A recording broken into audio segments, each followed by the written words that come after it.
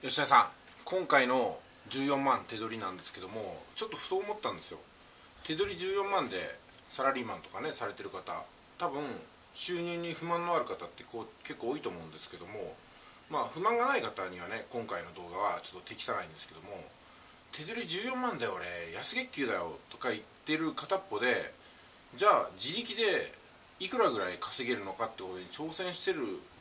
かなって思うんですよ、まあ、例えばね年間で100万円稼ぐことって難しいですかね？手取り14万の他に年間で100万円稼ぐって難しいかなと思うんですよ。はい。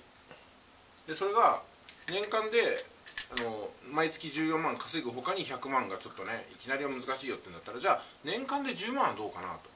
年間で10万ってことは月間で8000ですよ。これはできないですかね？副収入で年収10万円を手取り14万の給料もらってる方がプラスオンするっていうの。は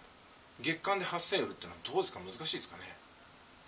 ？1週間に2件みんなの銀行を決めればいいっていう計算だし1ヶ月に1回セルフワークをやれば大体いいっていう計算になるんですけどもこれはどうかなと思うんですよね。で今回その月収14万で文句言ってるやつに物申すとかっていうねタイトルにしようかと思いますけども月収14万でやってて年間で10万円の売り上げをそれとは別に自力で出せるの。メルカリ転売でもいいしなんかねあの中古品販売でもいいと思いますしそれほどセルフバッグとかポイントサイトでもいいと思いますけども。どうですかね？なんかもうすでにやってるよっていうことなら全然問題ないんですけども多分それはできるんじゃないかと思うんですよ。ね、10万円の商品作って売るでもいいですし1万円の商品作って売るでもいいですしなんか結構月収14万の手取りの人が年間で100万円をそれとは他に作るの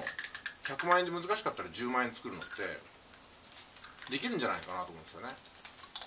うん、そして昔ねこんなこと言ってたんですよ。誰かがね。あの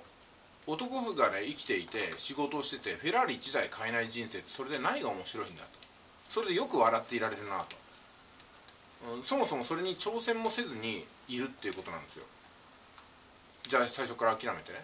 じゃあお金とか時間とかそういう全ての制約がない時に全ての制約がない時に自分の人生を自由にデザインできるとして今と同じですかっていうことをね考えた時にいや違うと。本来は俺はこうするべきだったんだとかね。こういうところに住んでこういうふうなことをしてとかっていろいろと浮かぶと思うんですよ。何の制約もなければ。でも収入とか自分の能力とかいろんな制約がある時に今に落ち着いてると思ったらそれがギャップなんですよね。自分の求めてるものと。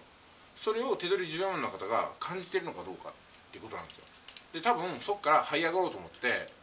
あのものすごく燃えるものを持ってる人はねこの動画を見てやったるぜとかねお問い合わせくださったりとか何か自分にもできることがあるんじゃないかっていうふうに一歩を踏み出すと思うんですけども冷めた目でねいやそんなんどうせ無理だよとかね言ってる方は、まあ、まさに思考が現実化する本当に無理になっちゃうのかなと思いますよね。いってらっしゃい。